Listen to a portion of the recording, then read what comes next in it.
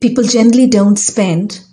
Generally, people don't spend because of the fear that the treasures will be depleted.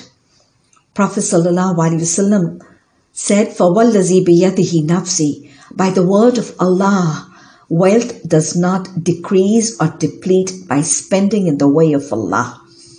And then he added, respect or honor and status does not decrease by forgiving people. Rather, Allah raises the ranks of him who forgives. So spending in the path of Allah will not deplete our treasures and will not finish or diminish our wealth.